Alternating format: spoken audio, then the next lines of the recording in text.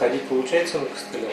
Нормально? Получается. Без? Это сейчас у Альвины обычный прием у врача, но два года назад челнинские медики откровенно были поражены. Неизвестный молодой человек столкнул ее из окна в подъезде. Это был девятый этаж. По рассказу очевидцев, Альвина сначала упала на козырек, а потом на асфальт, но удалось выжить. Была к нам доставлена бригада скорой медицинской помощи в крайне тяжелом состоянии. 16 часов за нее, боролись за ее жизнь.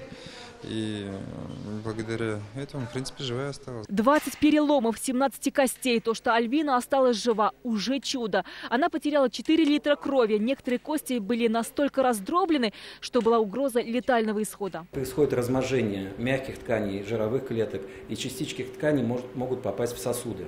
Попадая в сосуд, они могут долететь и до сердца, и в головной мозг, и вызвать мгновенную остановку и сердца. Владимир Филатов вместе с врачами курировал восстановление Альвины. Ее спасение – это итог маршрутизации врачей Челнов и Казани.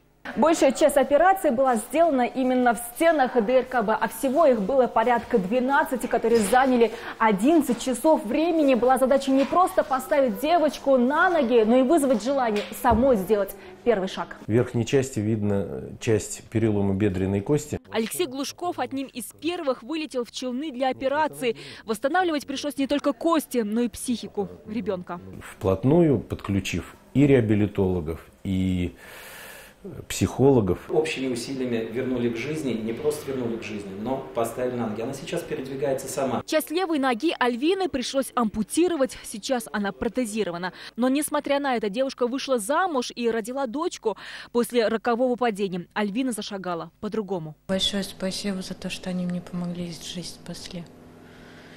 Я очень благодарна им. Альбина Минибаева, Андерсон Тальцев, Ильшат Аюпов, Рамиль Закиев, ТНВ, Набережные Челны, Казань.